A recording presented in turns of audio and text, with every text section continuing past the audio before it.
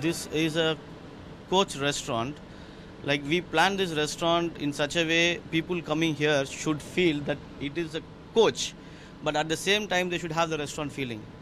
So, you know, it's it's a mix of both coach as well as a restaurant. If kid comes, it's a coach, and even you see the restaurant is designed in such a way that these tables, chairs, and all it looks like a coach, but they will have a restaurant ambience. It uh, looks like a coach come uh, restaurant. Uh, basically, you know, uh, it's lovely setup uh, been done here, and uh, especially for kids, you know, they they like train journey, and it's like a while we go on the journey, I'm having the food. So it's really good, good ambition inside and a good food altogether, good experience.